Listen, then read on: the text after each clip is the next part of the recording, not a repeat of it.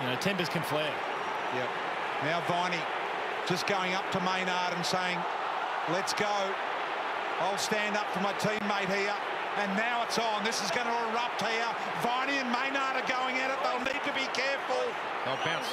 And they are getting on with it here right now. The stretch is still on the ground, so they can't bounce the ball. Down. And JB and BT, it's back to you. Well, it won't affect him, and he'll move on straight away after that initial touch of the footy. And Way. they come for him now, and I'm sure once the game starts, he'll be right into it. So Rory Long. Might be regretting BT those comments he made as he left.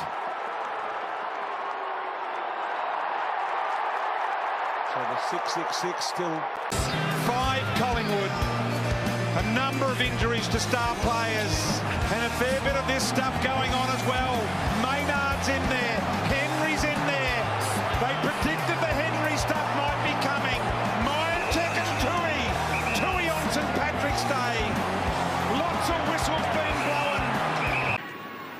Or maybe a free kick against. Slapped in by Walker.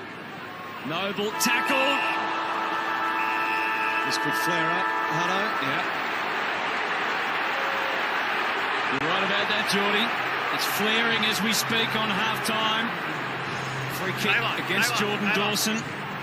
Hoff with it and looking for a clearing ball, taken down after he got rid of it. And that is a huge quarter for the Sydney Swans. There's a bit of push and shove.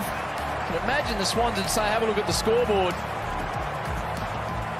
Witherden wasn't happy with his treatment. Lloyd's not too fast because he knows his team have kicked 11 goals to zero for the term in the last 15.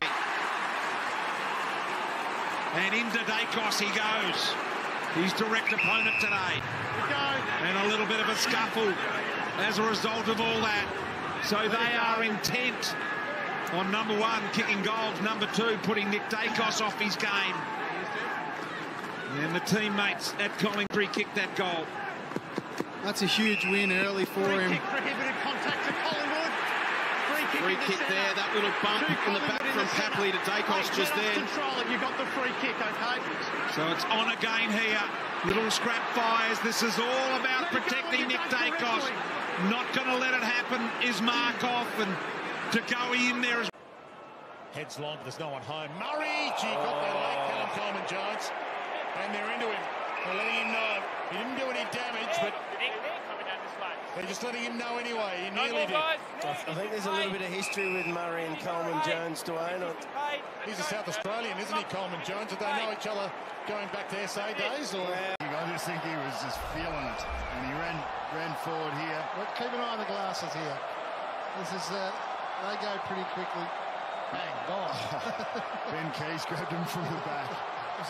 You ne- never, never hit a guy with glasses. Was that, is that something you learned as a kid? Simpkin danced into a jam, danced into Rao, the brick wall, and he lets him know, Matty Rao. And they let Rao know. There's a bit on this, bit of spice in it. So Lemmens back pedals, and it's a 50-minute penalty. Turner's still going on with it here. season. And there's a real wrestle on too. The scrap has started. So as the niggle continues, this is how they got it done, the Eagles. The flicking around of the handball, all on point, and then a lovely check side finish.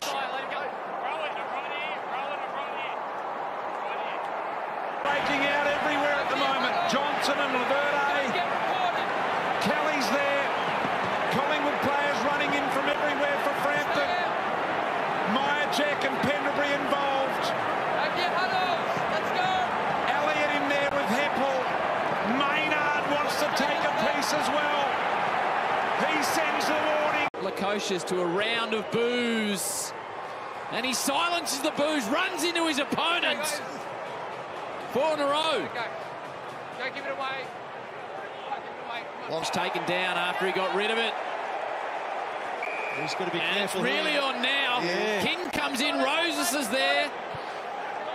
There wasn't a lot in. I think Hingy put a little bit of mayo on it just to make sure the free went. It's bubbling at the MCG.